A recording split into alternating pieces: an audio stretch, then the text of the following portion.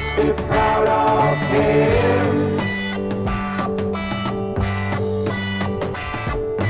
Mrs. Clegg, another drop of gin.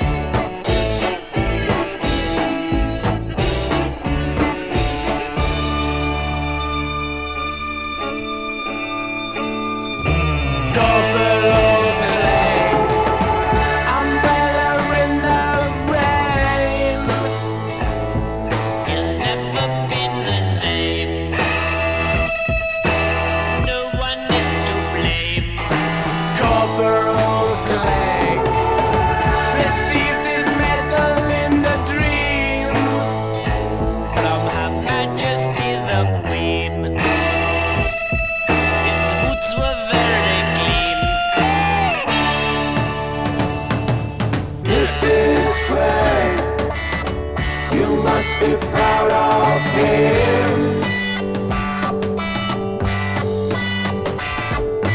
Mrs. Clegg, another drop of gin.